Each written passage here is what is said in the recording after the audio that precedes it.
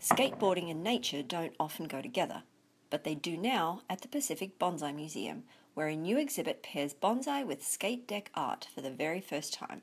We'll have the artist's uh, deck hanging on the back of the wall, and then we'll also have uh, an accent plant um, accompanying it in what we call a three-point display.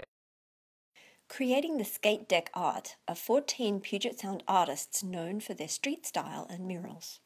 This tree is a Hinoki cypress. Um, it's got a beautiful tapering trunk, a nice buttressed root system, um, very dense foliage um, layered throughout the tree, um, resembling kind of an iconic northwestern tree. The artist paired with the cypress is Jean Nagai of Olympia, who paints with whiteout and lots of tiny dots.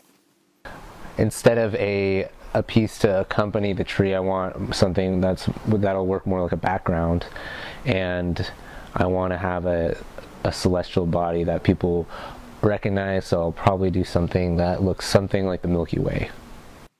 So why even combine skate decks and bonsai? Personally, I think it's pretty odd that uh, you would want to combine the two.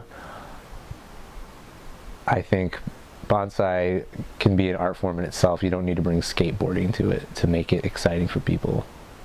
My hope for where bonsai can go for here is to just attract more people to to uh, to the art form um, as one as practitioners, um, but I think hopefully more as appreciators. So basically to come to be surprised by what they're going to find, but then leave with maybe a, a different view of what they had thought bonsai was.